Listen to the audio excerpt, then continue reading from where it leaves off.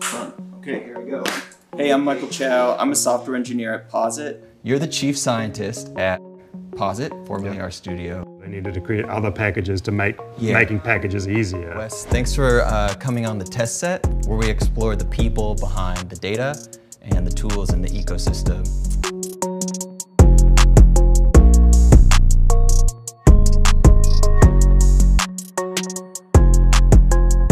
I thought this was the perfect time to broach the podcast question R versus Python. Is this the only time we should ask this question? I don't know, ChatGPT is giving you something and you're looking over it with a friend and analyzing, like that's still good learning in my opinion.